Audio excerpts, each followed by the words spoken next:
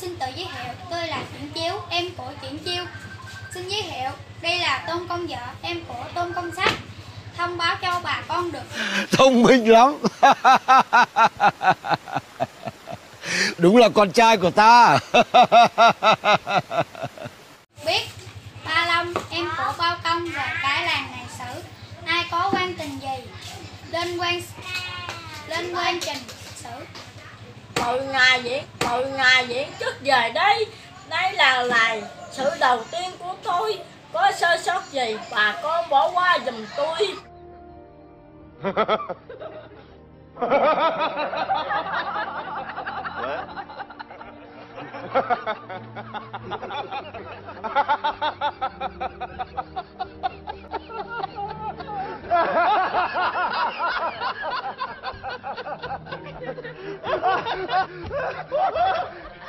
Gosh, great.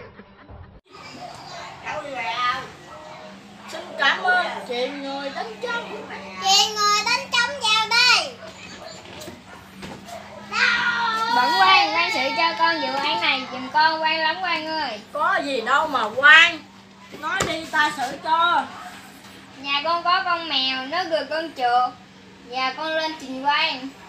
Con mèo rồi con chuột là chuyện bẩm sinh của nó rồi có gì đâu mà xử hả con ngươi con là thuyền tao quá rồi người đâu ra chạm ra đánh 50 hào Dạ. Cảm xúc. Đúng là ông quan tào lao không khổ danh. rồi người đánh ngồi đây đây Phải mà không vô đây thì cái mặt con hơi hết à. còn ai kêu qua nữa không Dạ không. Ông, ông làm hay quá. À, ở trong đây không còn ai nữa. quá khen từ ngày từ khi ta đi học tới nay ta đã thấy bản thân của ta đã quá hay rồi. Triển chiếu Dạ. đi ra ngoài dân coi coi có ai có quan tình gì. Bắt vào đây cho ta xử. Dạ. con công vợ à từ ngày ta làm quan tới đây có một vụ án con mèo và con chuột. Vậy mà cũng lên đây kêu quan ta làm cho ta gói não quá ta nóng quá hồi xuống dưới tôi chết rồi chết Rồi, vô đây dưới cắt.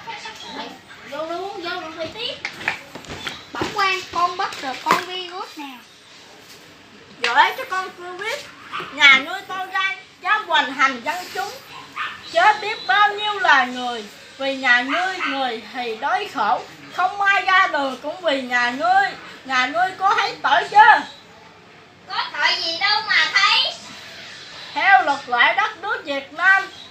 tội nhà ngươi chém đầu. Người đâu đem cẩu đầu đao ra đây chờ lệnh? Bẩm quan, không có cẩu đầu đan có có súng được không ạ? được rồi bắn đi. Chán chiếu nhà ngươi là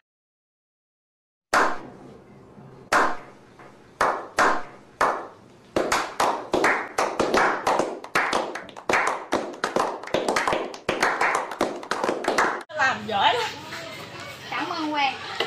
nhờ nhà ngươi mới bắt được con cô biết nó chết rồi từ nay dân chúng